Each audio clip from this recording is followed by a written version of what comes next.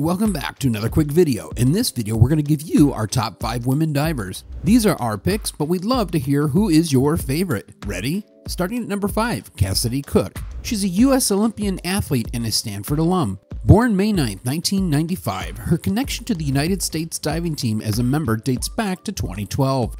Cook, being the hard worker she was, practiced for five hours a day, six days a week. Awarded the 2010 High School Girls National Champion in the Diving All American program by the National Interscholastic Swim Coaches Association, she was born to do what she does. At number 4, Tatiana Conn. Notice in her early years diving at a camp, she was asked to take lessons and pursue diving more.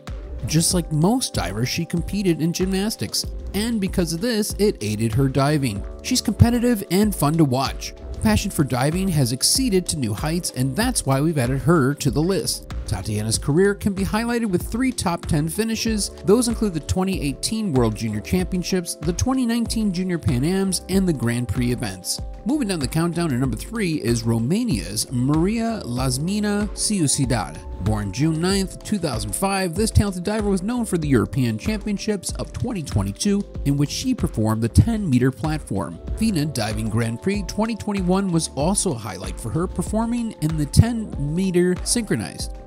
You can find her on multiple YouTube channels and videos, but the one YouTube channel, DW Sports, you'll see her performing the women's diving 7.5 meter platform diving final. Impressive and exciting to watch for sure, but don't take our word for it, check into it as well. Number 2. Diana Romano. A lot of great people have come from Italy. Diana Romano is one of them. Known for competing in the Junior European Championship 2022, the 10 meter platform, the Junior Europe Championship 2022, 3 meter springboard, and Junior World Championship 2022, 1 meter springboard. This talented diver can be seen in great detail on the YouTube channel DW Sports, competing in the 5 to 10 meter platform diving final. Women's diving doesn't get any better than this.